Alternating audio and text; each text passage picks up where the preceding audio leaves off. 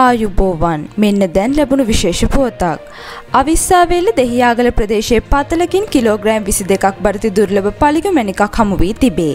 එය පරීක්ෂා කළ මැනික් හා ස්වර්ණාභරණ අධිකාරිය නිලධාරින් පවසා ඇත්තේ එම මැනිකෙහි කැරට්ටගේ එක් ලක්ෂ දස දහසක් වන බවයි. එහි අභ්‍යන්තරයේ දිය බුබුලක් පිහිටා තිබීම හේතුවෙන් මෙම පළිගු මැණික අනෙක් පළිගුවලට වඩා දුර්ලභ වන බව ඔවුන් පැවසීය. මෙය දුර්ලභ පාෂාණයක් වන බැවින් එහි වටිනාකම ඉහළ අගයක් ගන්නා බව මැණික් හා ස්වර්ණාභරණ අධිකාරිය සඳහන් කළේය. පළිගු මැණිකෙහි මූල්‍ය වටිනාකම තවමත් ගණනය කරමින් පවතින බව මැණික් හා ස්වර්ණාභරණ අධිකාරිය පැවසීය.